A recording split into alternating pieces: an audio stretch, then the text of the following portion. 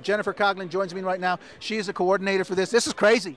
Uh, it is crazy. Uh, Miss Teal is also one of the coordinators. All the students at El Dorado High School are today are building Rube Goldberg machines. So they have to over-engineer in 10 or more steps to make a frog arrive at a lily pad, and they have to use all of the physics that they've learned all year long. All right, well, let's see what's going on. Go ahead, guys, take it away. This is the modern team. A modern time, I'm sorry, the modern time team. Okay, they're starting this out with some sort of a chemical reaction, hopefully. Here we go. There it is. Maybe not. This is live television. You never know what you're going to get here. There we go. There we go. There we go. It's starting. Look at that. there it is. And the water's filling up in the little bucket right now. Again, this is just straight out of the cartoons. This is great. And there it is. All right.